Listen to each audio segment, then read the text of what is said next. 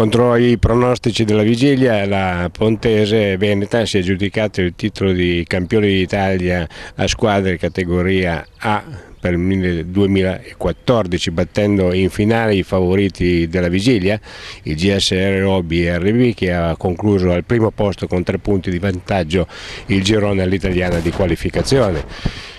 Poi dopo è successo quello che a volte succede, l'imprevedibile e anche il favorito della vigilia non riesce nell'intento. Infatti il Gessero Bro che era favorita e tentava suo, la scalata al suo quinto titolo di campione d'Italia, a tempo scaduto dopo 5 ore di gioco i Veneti si impongono nella coppia contro i fratelli Carlo e Paolo Ballabene e Bruzzone pareggia l'individuale dando così la vittoria alla Pontese.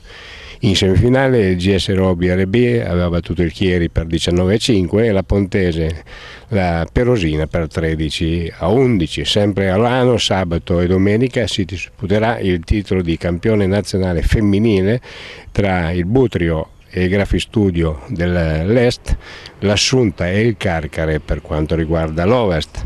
per poi passare poi alla domenica successiva alla gara più importante dell'anno a livello internazionale, la gara di Alassio, dopodiché comincerà la Coppa Italia a squadre e poi eh, per finire per cominciare di nuovo con il primo turno di Coppa Europa. Coppa Europa che vedrà impegnata al primo turno il GS Ro BRB contro i croati.